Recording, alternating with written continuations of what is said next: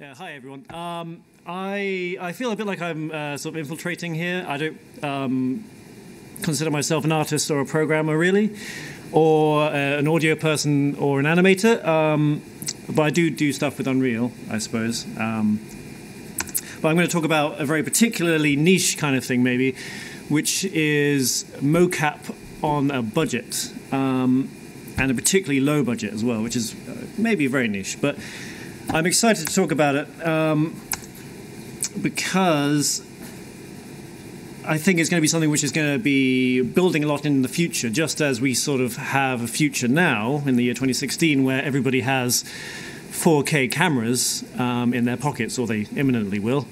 Um, because we have mobile phones, I think in 10 years' time, I think motion capture is just going to be something which is very, very ubiquitous. Um, just a little bit about me, I think, which is relevant to this talk. Um, I have kind of two hobbies currently, which is sort of um, indie animationy stuff, and another hobby which is performing improv comedy. Um, and also machine learning, um, which kind of pops up later, which is why I'm mentioning it. Um, and the thing is, I'm really, really fascinated by motion capture, and especially now that we have things like the Unreal Engine where you can drop something in which has been motion captured, and you have all these wonderful assets from um, the example content, which is free, for example, and we just recently had 411 where you have the new shaders and stuff. Um, but I think until the last 24 months or so, it has been sort of completely, utterly out of the reach of people like myself, and it still mostly is. Um, but it's just about getting to that point where crazy people like me can just sort of start experimenting. Um, and the thing is, I'm a strong believer in people being amateurs and experimenting in a very amateur way in their living rooms and stuff because um, even before you get to the point of being an indie, because you know I think lots of people in this room would, would realize that being an indie is actually a real lifestyle choice. Um, but it's out of necessity for me because at points I will often struggle to actually get out of the house. Um, and so being able to experiment with, with, something and to learn and hone a skill in your living room is very, very important to me. Um, but you have to do things very quickly and cheaply, therefore. Um, why quickly? Because uh, I'm also a perfectionist, and the thing is, you can just spend years and years and years grinding away at something and you don't actually make anything. Um, and if you're an amateur where you're not getting paid, or you haven't got someone telling you to get on and make something, then that's, that's really disastrous. Um, if you're working in a team, people get demoralized if you don't do something quickly. Um, you run out of money just because you have bills and, and uh, rent and all these things, which no matter how cheaply you can do something, these things stay the same. Um, and you lose sight of what the actual project project is. You spend two years doing something and you realize actually it's it's awful, and you wish you hadn't ever done it. Um, and you might realize that the audience actually doesn't really enjoy what it is you've spent two years making. So doing things quickly is always going to be better at an amateur scale. Um, and so cheaply is also very useful, and that's actually really the main meat of what I'm talking about. Um, so I think what has really struck me is that you can 3D print lots of things that you previously had to spend thousands of pounds getting even an approximation of. Um, and in this case, in this talk, that's, uh, that deals mostly with the uh, facial tracking.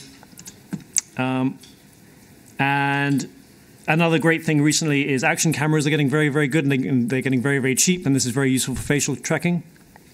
And again, they're, they, are ubiquitous.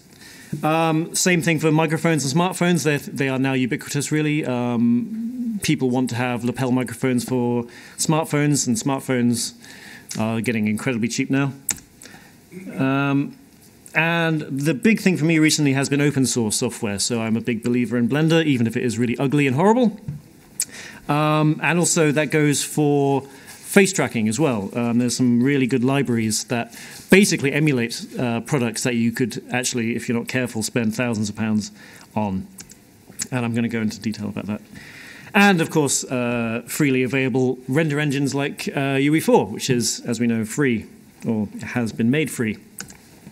Um, so, yes, motion capture is what I'm talking about. Um, for the body, um, oh, I should say, sorry, um, this is all completely out of context. Uh, I do actually, I, did, I initially did um, intend to talk about all the philosophy behind what I'm doing and all the context and all that stuff, but um, just in case, in case I run out of time, I thought I'd put that stuff at the end, and then if I have time for all that stuff, then we'll talk about that.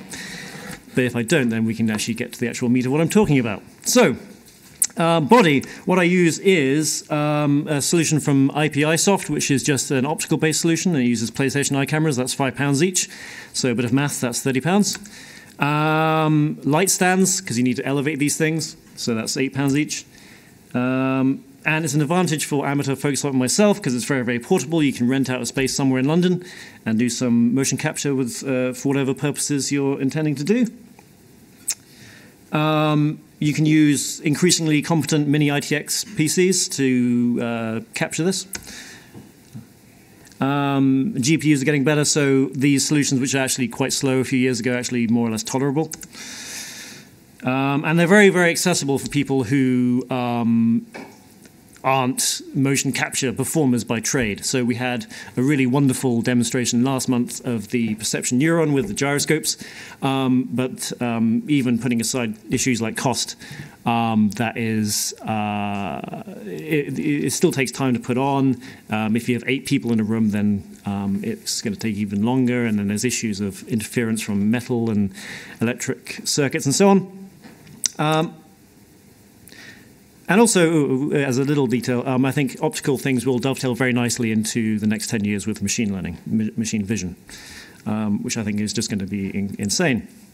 Um, so, just a, a sort of um, uh, demonstration of that. I have this guy here. Uh, what am I doing? Here we go. So, this is just a demonstration of the optical. There we are um, thing. So that's me in my kitchen.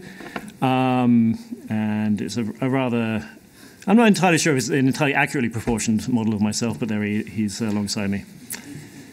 Um, I'm not an artist, as I said.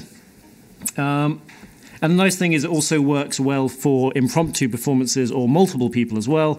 Um, so you could actually walk into the room unannounced and actually start doing some motion capture. Um, so here we have um, a side-by-side comparison. This is actually in Blender, so this is multiple people. Um, and as you can sort of see, I'll skip through. But it, the thing is, for an amateur sort of scale thing, is actually quite competent. Um, and there's some wonderful performing going on here. Uh, anyway, so there we go. This is before all the niceness is, is uh, smothered over in Unreal Engine. Um, so, so that is the body. Uh, go full screen again. All right, cool. Uh, so yeah, the face capture rig. This is the big thing, really, because if you have six performers trying to capture the face, um, it's uh, just uh, it, it's impossibly expensive. The consumer entry level sort of solutions can be maybe two thousand pounds each. So for six or eight people, that's obviously not possible, and I'd, I'd, argue even one person's not really possible. Um, it also it has to be lightweight and it has to be immune from shaking because um, to get a good track. Um, so what I'm doing is I'm using Intel RealSense to scan someone's head in depth, and then you just print out a a, um, a, a personalized brace for that person. And even though that is a personalized thing, it's only about 30, 40 pounds each. Um, and then you can just again use an action camera for about 55 pounds to get the, the, the footage, which can go up to 120 frames a second for get a good track. And it can even use like a sort of consumer level USB charger to plug into the camera, take the battery out, and it's even lighter. Um, and what you get is what do we do? We have. Um, uh, just for the sake of time, I won't bother showing you the uh, the capture thing. Um, but then to actually get the landmarks, then you can use open source uh, libraries. I was actually originally planning on using a solution called Faceshift, but then Apple bought it, and um, I, I, didn't really appreciate that happening.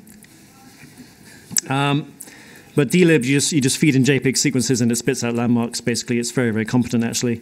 Um, it's just based on machine vision regression trees and lots of other stuff I don't really understand, but it works. It's actually quite easy to use. Um, it, you, just, you just feed in correctly labeled poses and it actually does a very competent job. It's written in Python and C++, so even someone like me can do it. Um, and the rig is just based on morph targets. Um, and it's just it's just it's a it's a solution like Blender that is sort of sampling between points on the facial landmarks to infer what how to what degree you want the morph targets to contribute to the ultimate pose.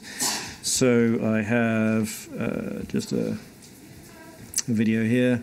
It might even have audio. Who knows? Oh God. He test, the all-up test, which is what I'm calling it, um, which means that I'm testing the head-mounted camera with the portable battery. Um, So this is very very early stuff, um, but uh, this is this is exceptionally crude and exceptionally early, and I think. Um, what I, I'm I'm talking quite speculatively here, but I think this I, I'm actually quite happy with this for something which I made. And the thing is, I don't know anything about rigging a face or indeed Python or indeed much about anything. So the fact that I can make this is quite promising, I think, for people who actually know what they're doing. Um, so that's that. Oh, why does it start again? There we go. Oh, that's sorry. That's like well, that's what dlib gives you, um, and that's just an open source library. Um, audio diegetic, like the in-world stuff, is this is like the Unreal specific stuff, I suppose. Um, uh, do, do, do. Specifically to Unreal, for the sake of time, um, what I'm really, really excited about with Unreal Engine is that talking about doing things quickly and cheaply, um, rather than having to add in Foley um, manually, things like footsteps and um, uh, cloth, is sort of what I've what I've done is um, used Blueprint to sort of sort of sample the uh, position of bones. Um, relative to the floor and relative to each other to get like the velocity of a bone. Um, and then you can sort of say, well, at that point, play a footstep or play some cloth sound. Um, and if you're sort of trying to make a 20 minute sitcom in a week, then this is very, very useful. Um, and it sort of just nice, it nicely grounds the animation in the world. Um, how am I doing for time? Sorry, I didn't actually. Okay, I suppose I have a very crude video showing this. Um, there we go. There we go. This is da, da, da, so.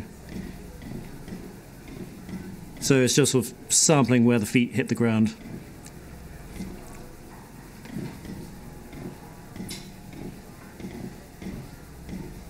There we go. Um, early days. it's going to be the best footstep uh, sitcom ever. Um, Uh, non-diegetic, and this is stuff I was really, really excited about um, as well, which is that games have this wonderful thing about interactive music. Um, and if you imagine that you are doing a live performance where the computer knows who each character is, where they are in the world, what they're doing, um, suddenly you have these some very exciting possibilities. Um, I don't actually have anything, to show on this front just because I, I only just sort of looked into it the last week or so. But it's not so hard to imagine being able to have music um, being generated almost in real time alongside a performance.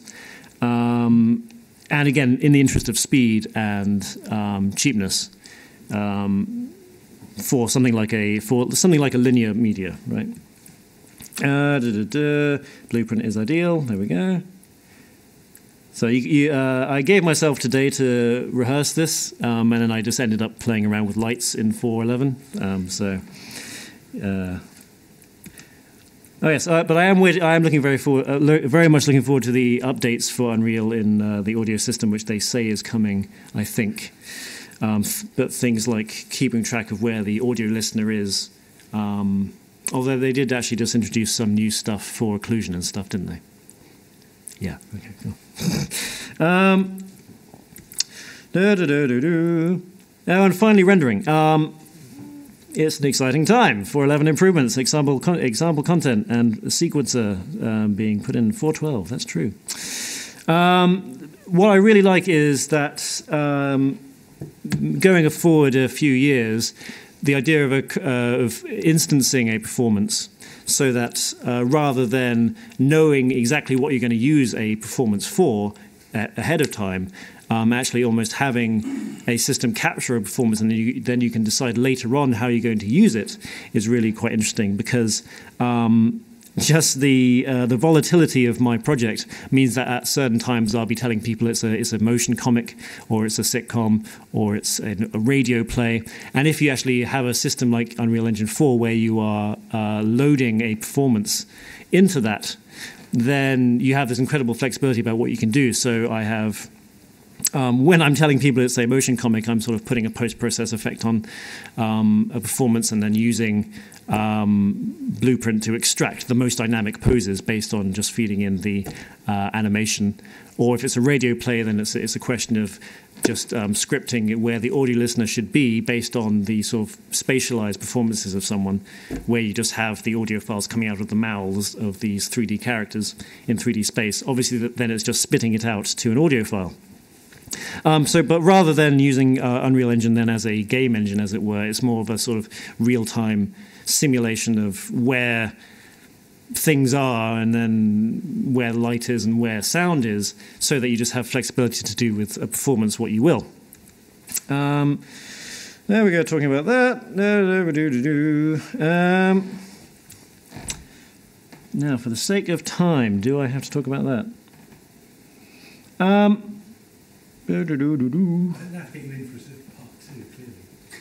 um, uh, yeah, maybe. uh, again, I've, I have no track of time. How long? Am I, how am I doing? Um, okay, I think that that's probably about it. Really, I can sum up the last few pages and just saying machine learning will solve all these problems. Um, uh, I, am very, very excited about taking that sort of um, extraction of a performance, a live performance, ultimately, um, especially with machine vision, and sort of feeding that into a um, a neural network and sort of seeing what it makes of it. Um, did anybody see the conference the other day where they're sort of uh, the NVIDIA conference where they're sort of showing machine learning um, producing paintings in a particular style, and then they can sort of ask it to make take away the clouds. Anyway, machine vision is great, um, and that's pretty much. Oh, I suppose. Hang on. I, I guess I should show this thing which I spent hours making today. I meant I didn't rehearse the speech, so I should probably talk about it. Um, there we go. Uh, actually, no, I won't.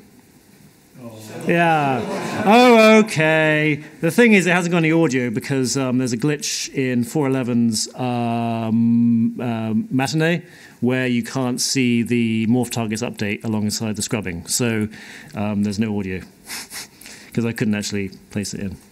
That's my excuse. Um, where is it? Is it that one?